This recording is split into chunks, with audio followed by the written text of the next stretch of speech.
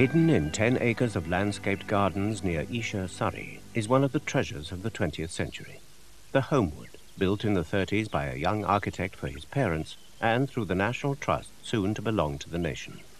The architect, Patrick Gwynne, is now 81 and still lives here today. It's a terrible thing to say, but it cost £10,500, including all the built-in furniture and um, I'm not going to tell you what that costs now because one has to multiply by 100 or something. An awful lot of people came to the house, mostly our younger friends. And in those days, we did an awful lot of dancing. And so, hence, in this room, the um, maple floor, which is sort of best dance floor you can possibly have, it's also sprung a bit. And um, it was also a large enough room that you didn't have to move the furniture very much in order to dance. With a thousand little stars, thousand little stars. we can decorate the ceiling with an optimistic feeling. We can build a little home. Every single little dream, every single little dream is a shingle or a rafter. We can paint the house with laughter when we build a little home. It's not a palace nor a poorhouse, but the rent is absolutely free. This is my house, but it's your house if you'll come and live with me. The homewood is precious because it is so little changed. Much of the original furniture and fittings is still here. It's a rare example of the modern movement in Britain, and it's to be left to the National Trust in Patrick Gwynne's will.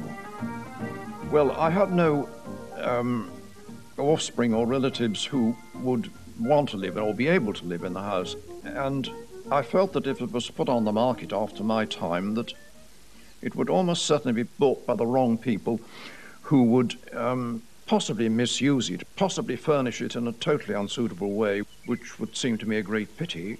And I felt if, if the trust wanted to bring their buildings up to date, here was an opportunity for them. And I feel that that will preserve the house in some way that I would like. The National Trust for England, Wales and Northern Ireland is just a hundred years old. At its Westminster headquarters, it is the daily custom of the staff to take tea with freshly baked scones. They are now part of a grand concern, with some 207 historic houses, 600,000 acres of land, 550 miles of coastline. There are some 6,000 employees, permanent or seasonal, and two and a quarter million members. More than all three main political parties put together.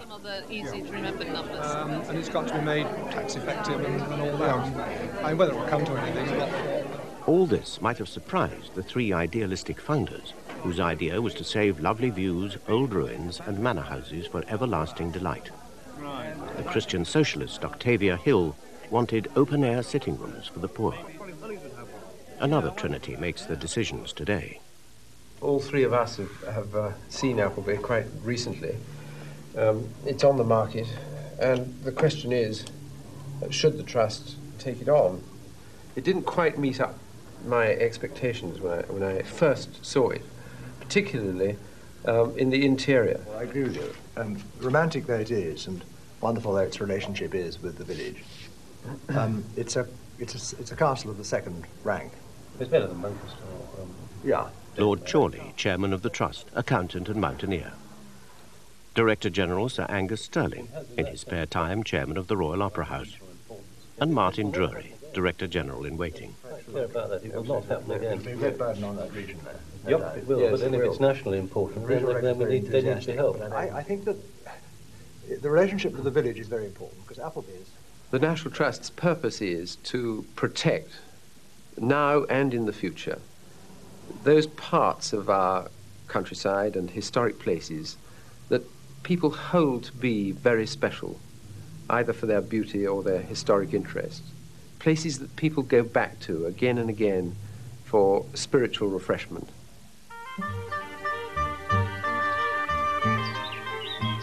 For most people, the jewels in the Trust's crown are the historic houses. This is Powis Castle, North Wales.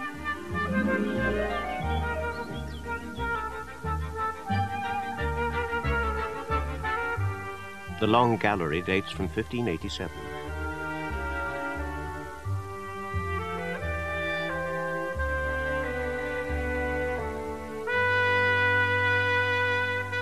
The state bedroom, unique in Britain, echoing Louis XIV's Versailles.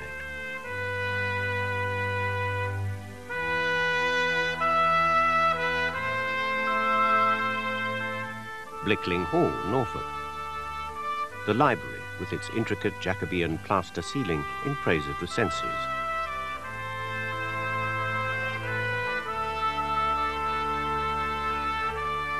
The Vyne, Hampshire, a classical 18th century entrance hall.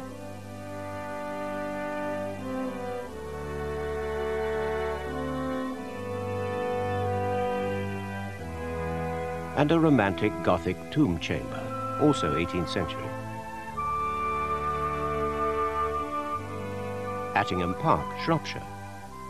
One of the first picture galleries in a country house, designed by John Nash.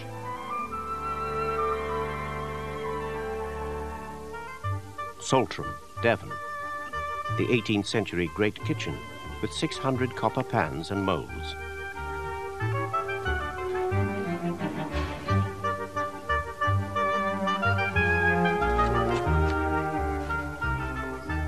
The White Bedroom at Cotehele, Cornwall. A Tudor house with its faded 17th century tapestries. And Cragside, Northumberland. Here lived William Armstrong, inventor and international arms manufacturer. It was the first house in the world to be lit by hydroelectricity.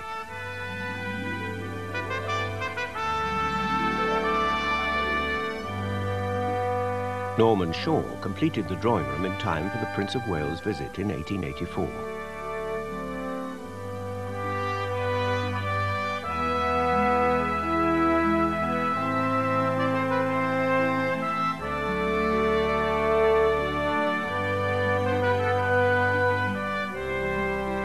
The Great Chimneypiece, Italian marble, carved in London, and said to weigh 10 tons.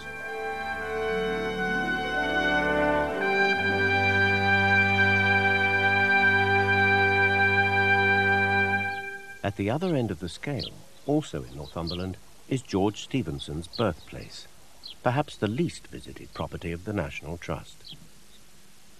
The tenant sits and waits. They do not come. Today we've had 10 visitors. The most we've ever had was 63 on a bank holiday, and the least we've ever had was none.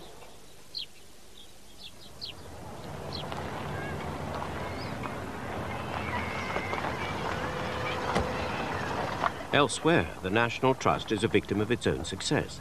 This is Dovedale in the Peak District, a place of pilgrimage, where the progress can be slow.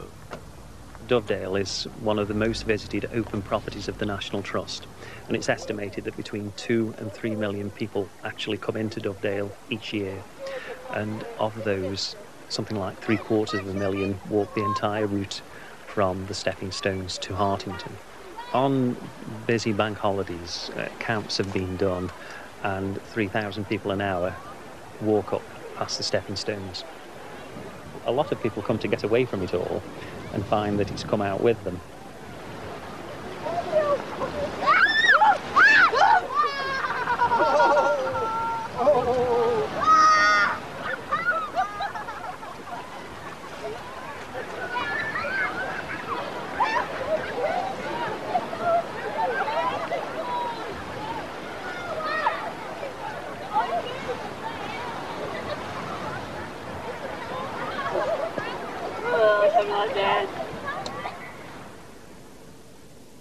The Peak District is surrounded by the great Midlands industrial cities. For 10 million people, it's an easy drive to the steep gorge of the River Dove, as the warden knows only too well.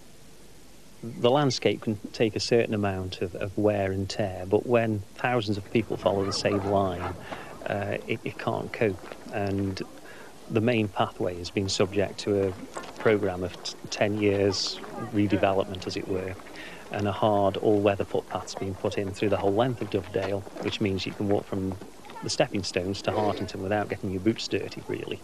When the new path was put in, one of the criticisms was that it was likened to a motorway in the middle of a beautiful area. But I think time has shown that the right decision has been made because it's confined the erosion just to the path.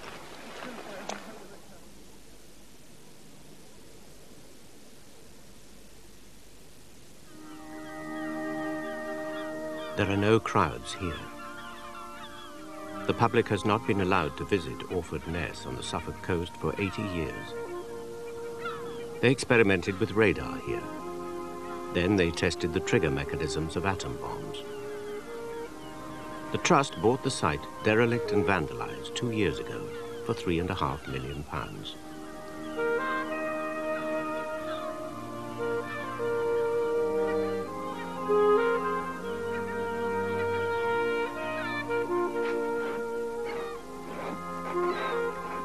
The Trust's Foundation for Art has commissioned Dennis Creffield, known for his paintings of medieval cathedrals, to record his impressions of Orford Ness.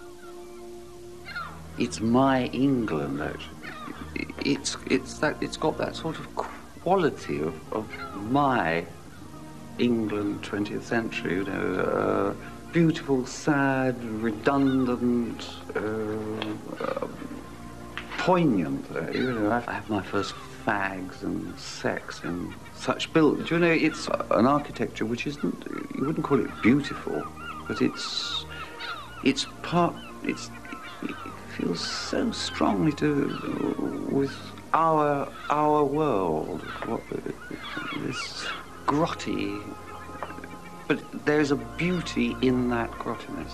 There's no grandeur about this. There's just a sort of sadness.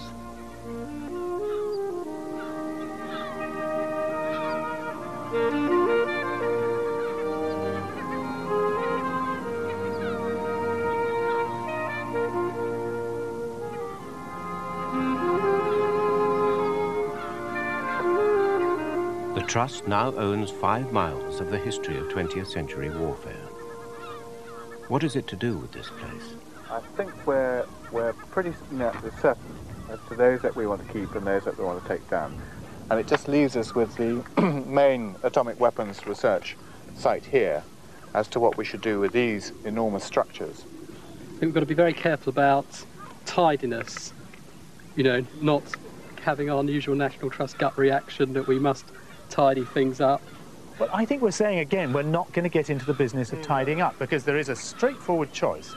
Either you tidy up these buildings, you remove all the bits that could drop off them, clear them out so that they're absolutely clean, safe and tidy. And we're all saying we don't want to do that.